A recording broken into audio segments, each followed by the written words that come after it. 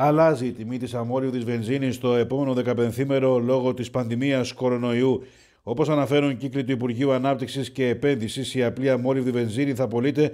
1,35 ευρώ το λίτρο στα περισσότερα πρατήρια των μεγάλων αστικών κέντρων. Εκπρόσωποι των πρατηριούχων από την πλευρά τους θεωρούν πως οι τιμές σε αυτά τα επίπεδα που ήδη παρατηρούνται στην αγορά είναι ύποτες και θα πρέπει να προβληματίσουν τους καταναλωτές.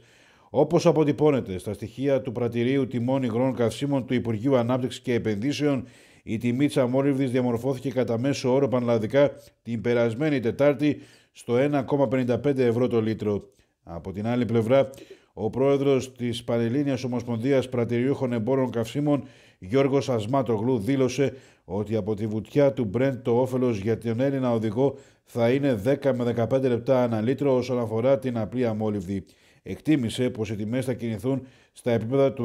1,45 ευρώ το λίτρο τις προσεχείς ημέρες στα μεγάλα αστικά κέντρα και περί του 1,48 ευρώ πανελλαδικά κατά μέσο όρο, προσθέτοντας πως έτσι όπως διαμορφώνονται οι διηληστηριακές τιμές είναι ύποπτο να βλέπει κανείς την αμόλυβδη στο 1,35 ευρώ το λίτρο σε κάποια καπαρατήρια. Δημιουργεί ερωτηματικά, διότι δεν υπάρχει περιθώριο κέρδους. Πόσο δε μάλλον όταν το μέσο πρατήριο προσπαθεί να καταστεί βιώσιμο και να ανταποκριθεί στις υποχρεώσεις του με την κατανάλωση καυσίμων να καταγράφει πτώση